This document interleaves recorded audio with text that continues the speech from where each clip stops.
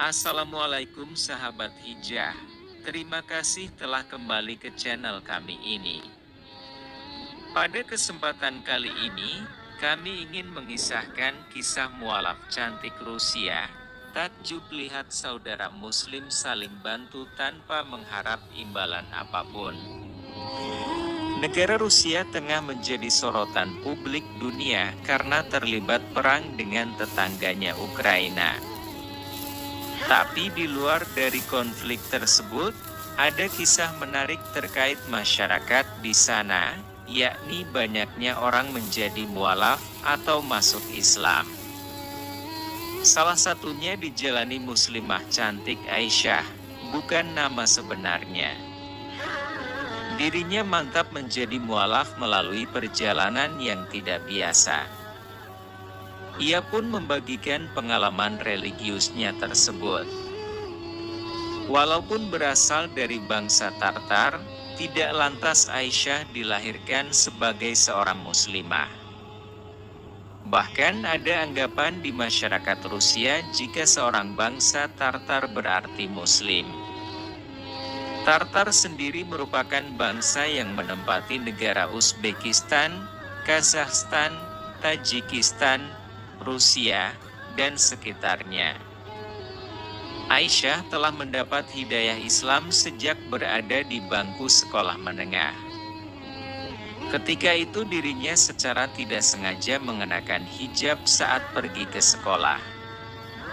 Seolah-olah akar imanku ditanam sedari masa kanak-kanak. Itulah yang menjadi fondasi dari bangunan keimananku, ungkapnya. Lalu ia juga merasa agama Islam tidak bertolak belakang dengan yang dialami saat ini. Bahkan, Aisyah telah membandingkan dengan agama lain, tetapi Islamlah yang selaras dengan apa yang telah dialami. Dirinya juga menemukan semua jawaban atas semua pertanyaan dalam kehidupan. Kenapa di dunia ada kejahatan? Bagaimana kehidupan setelah mati? Apa yang terjadi setelah manusia mati? Yang kita tidak tahu entah ajal itu tiba, kapan datangnya hari kiamat? Jawabannya didapat saat mempelajari agama Islam, terangnya. Aisyah mengakui bahwa tali persaudaraan antar sesama muslim sangatlah kuat.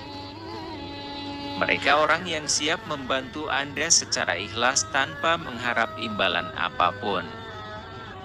Kesulitan apa pun yang Anda hadapi, orang-orang inilah yang akan membantu Anda meski belum pernah bertemu, tugasnya.